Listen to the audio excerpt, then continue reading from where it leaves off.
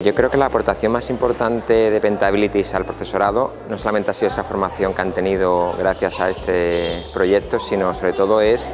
eh, darle un complemento a la manera de evaluar a sus alumnos, es mirarlo con otro enfoque, mirarlo con otro prisma y sin duda enriquecer esa mirada 360 que muchas veces necesitan los, alumnos más allá de la, de la, formación académica. Yo creo que la aportación de Pentabilities a la mejora de la sociedad es innegable. Eh, chicos y chicas que se van a formar y se han formado en habilidades socioemocionales sin duda son chicos y chicas que se van a enfrentar a la sociedad